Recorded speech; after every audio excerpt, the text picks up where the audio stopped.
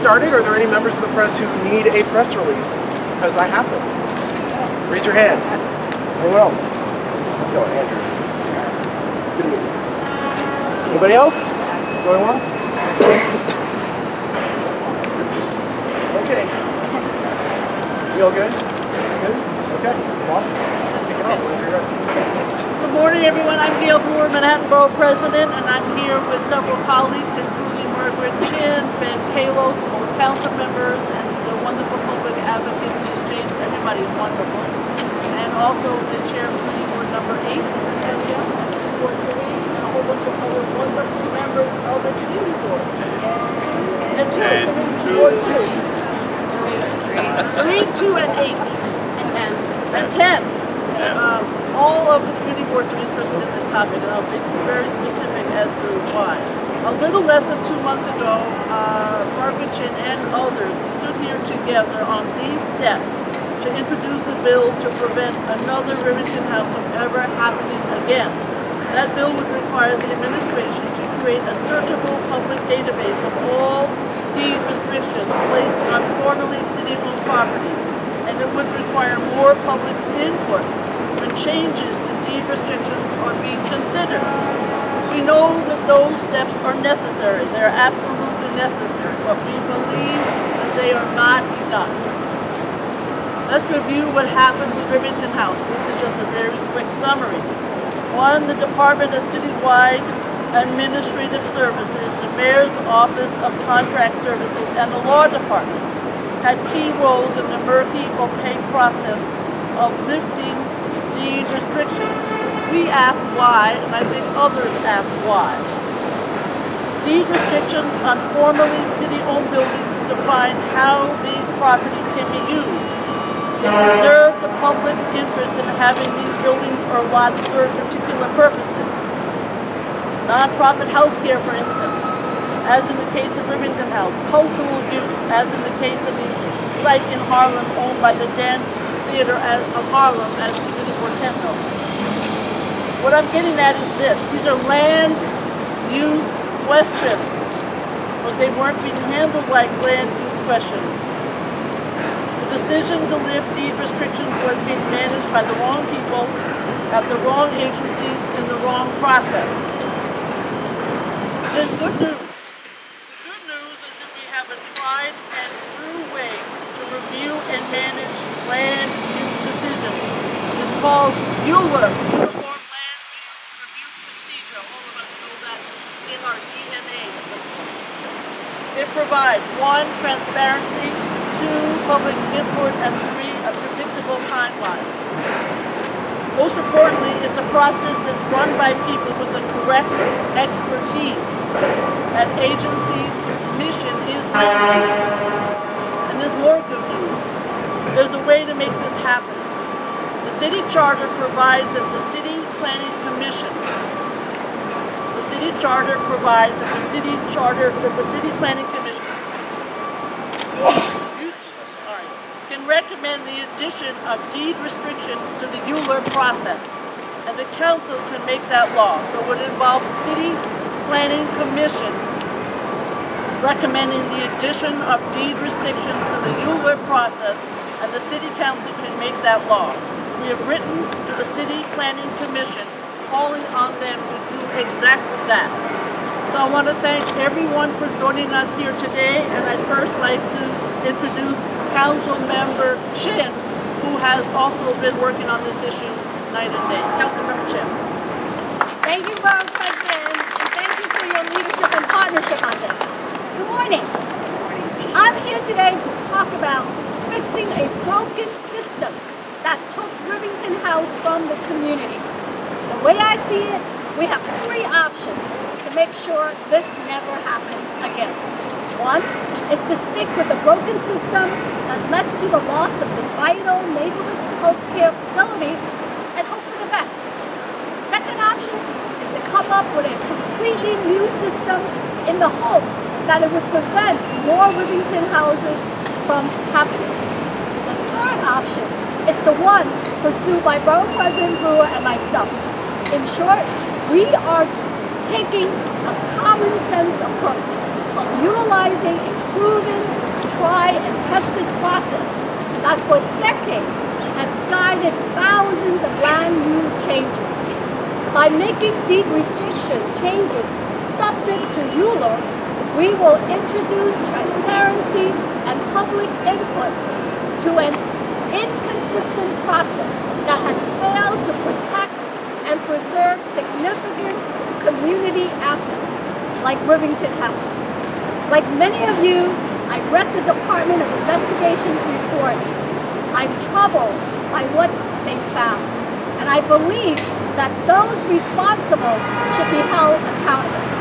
In addition to this request to make deed restrictions subject to ULURP, I will continue to push for a council hearing as soon as possible on legislation to reform this murky deed restriction process. We cannot wait to act. We must do everything possible to ensure that what happened at Rivington House never happen again. And I wanted to thank my colleagues in City Council for their support and all the advocates and board members. Thank you. Next, uh, we're gonna hear from public advocate Tish James. She's not only the public advocate, but she also, like the borough president, has an appointment to the city planning commission. Advocate. I want to thank um, Borough President Gail Brewer and Councilmember Margaret Chin for bringing us together this morning. The events that transpired, that transpired around the lifting of the Rivington House deed restriction opened our eyes to a glaring problem in the way our city is treating our communities. When we initiate development in our neighborhoods, thought and planning goes into every aspect. The orderly planning of our city involves several layers of oversight. Yet when changes are made, deed restrictions are lifted, the same level of thought, planning, and oversight is not applied. These changes have a massive impact on our community, our public amenities, and our resources. We appreciate the administration taking steps to improve this process, but we need real accountability. We need real transparency. Two weeks ago, I called for the City Council to have oversight on this process, and I am proud to stand here today with my colleagues and support deed restrictions we added to the process. This will ensure accountability, and transparency, in an otherwise opaque system with real implications for our communities. And as part of approving any deed restriction modification, the administration must ensure that there will be no, no net loss of community services or facilities for the local community. This will ensure that our communities and the neighborhoods and their resources are protected. With property values and rents in New York City higher than ever, we must ensure that deed restrictions are only lifted through a process that involves substantial, independent oversight, a process that protects and benefits local residents and, and allows for the voices of community boards, local elected officials, not only to be heard, but to have a seat at the table. I thank my colleagues in government. From Councilmember Van Chair Government Operations Committee. Thank you to uh, Borough President uh, Gail Brewer and Councilmember Chin uh, for their work on finding this uh, part of the charter that will allow City Planning Commission to uh, refer this matter to the council so that we can pass a local law that will open up the deed restriction process and empower our communities at the community board level with their public hearing and a chance to vote on the matter. And the borough presidents to have a public hearing and to vote on the matter. And for the city council to have a public hearing and vote on the matter. And to put the city planning commission where it should be on land use matters where they too can vote on the matter in a public way where there is accountability and a chance for the public to have a role in every step of the process. Uh, the DOI report has lent credence to why this is necessary and why this should be done through the Uniform Land Use Review process.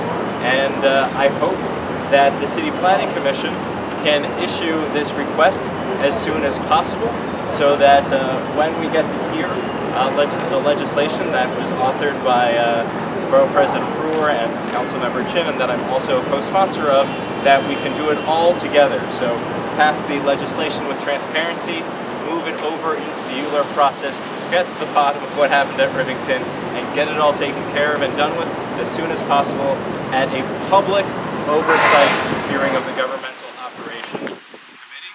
Uh, look forward to getting this behind us, moving forward, and making sure that our communities have a role in this process. And I just want to thank Public Advocate Tish James for uh, joining us today and for her advocacy for communities. And uh, I will stall for just a little bit longer as uh, the Speaker uh, of the City Council joins us. Uh, she initially called for a hearing on Rivington and uh, we look forward to working with her and the entire City Council to get these reforms.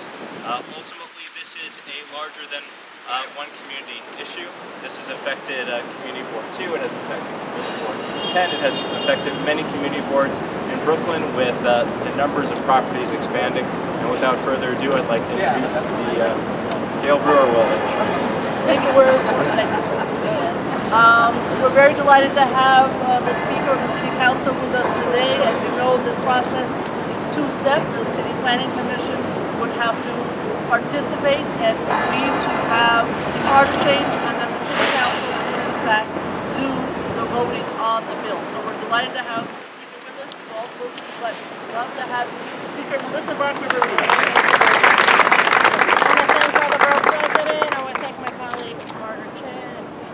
Public advocate.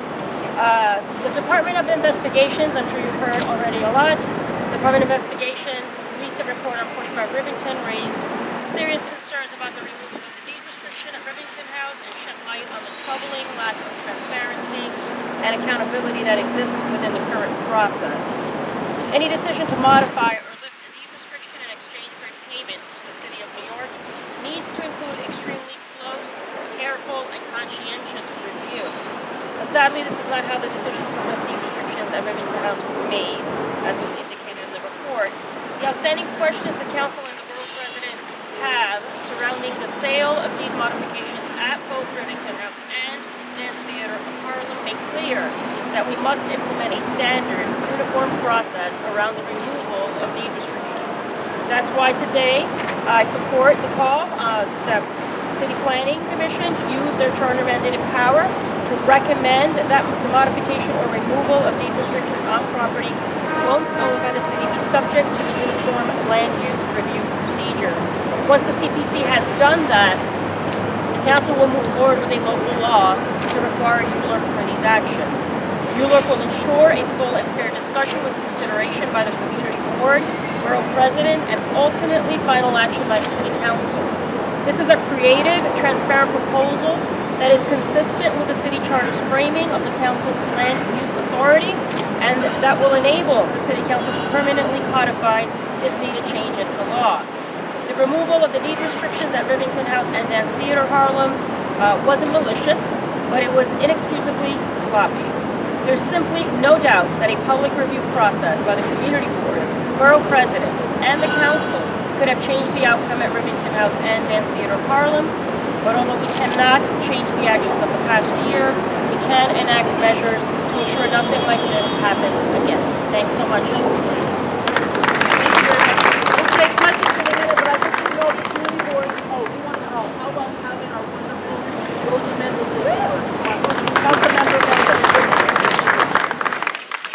Thank you. I am um, proud to join my borough president, Gail Brewer, and my sister and colleague, uh, Councilwoman Margaret Chin, on this important issue. Um, the loss of this valuable community facility in the Lower East Side affects my district as well. And there's an invisible line that divides our district, both our constituents used to utilize that building. Um, going forward, this is a process that makes sense. It's a process that people will get notified of. There will be a hearing process, a clock will start, and different um, bodies of government will vote on it. So uh, this should be a process we utilize going forward. I am particularly interested in this because I have several community facilities in my district where they've tried to remove the deed restrictions. So thank you, Borough President, uh, Margaret Chin, and my speaker, public um, uh, Community Board 3 Chair for taking the lead on this issue. Thank you. Thank you very much. So we're just going to identify that the Community Board members, Community Board Community Board 3. Thank you. Angela Saad, District Manager, Community Board 10. Anybody else?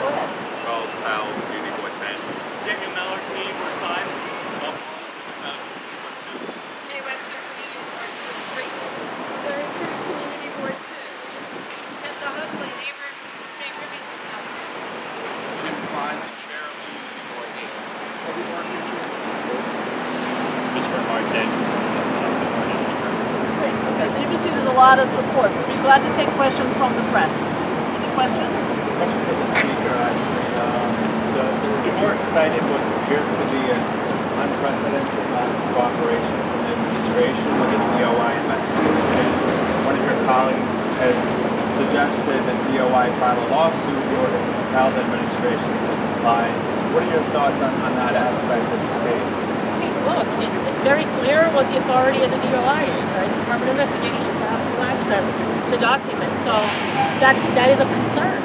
Uh, I'm not familiar with the call that you indicated from one of my colleagues, uh, but clearly access to the documents should not have been uh, made any, you know, made difficult. It should have been freely made available. So that aspect of the report is also very troubling. Madam Speaker, there was also a report that the council had held off on a hearing a couple of weeks ago. When do you plan to have this hearing? And are you holding off until all the procedures are completed, or is there any other reason that the hearing has been delayed? No, the Department of Investigation works on behalf of the City of New York. So the work that they engage in is a benefit to us as, as a legislative body. It's a benefit to the city. So the work that they've completed and they've done is important. Obviously, the lack of full access to documents is of concern, but we've seen clearly uh, some of the issues that have been reported. So we plan to still have a hearing in the fall. Uh, we're also still gathering our information. Uh, but again, the Department of Investigation's report is really vital, and it's vital to the work that we do as a legislative body too. Yes. documents that it has not come over to the DOI, where it could be um, provide, give us a sense of what the group, what the mayor's office should provide. Well, that level of detail, I mean, I, I, I don't know, but we can, we can talk to you maybe more about that something. Yes, go ahead. Sixteen million dollars for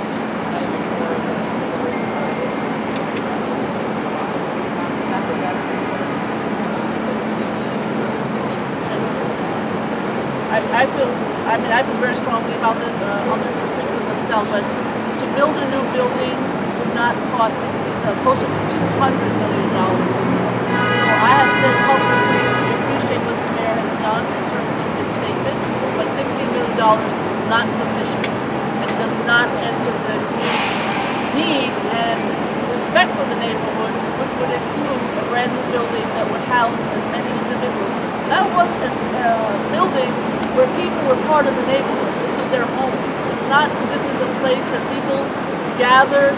Uh, who we have here with us, the people who live next door, they interfaced with them, they were part of the neighborhood. So we basically need another building that provides affordable housing, just like Rivington House.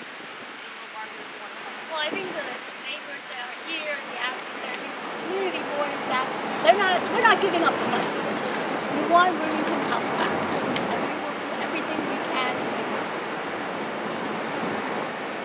One additional question, if, um, the mayor has submitted his own set of reforms to deal with this issue, um, have you gotten a sense of his position on the legislation you're proposing, and is there any risk that he'll say, I've already put this forward, we don't need any Well, I mean, I think what he did had some merit is moved the dial a bit. Um, I don't, I assume he knows about what we're proposing today. I haven't gotten a comment as to how he feels about it. But the bottom line is that this is a way in which the right agencies deal with the problem. He made a statement about how to proceed from his perspective. There was you some concern about the money, at least from my perspective.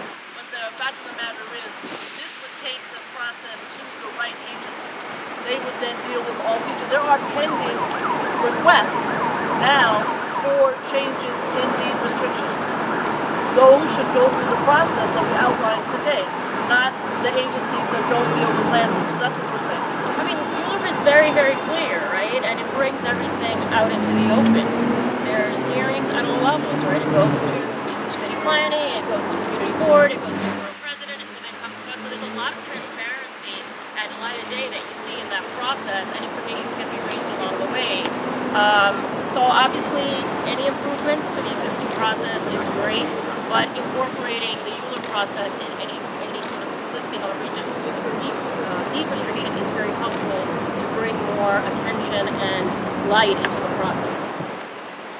Any other questions? Uh, for Chin, uh, you said earlier that you believe in the case of the residential responsible should be held accountable. The Administration has already said no one's going to be disciplined over this. What, what is it you're looking for?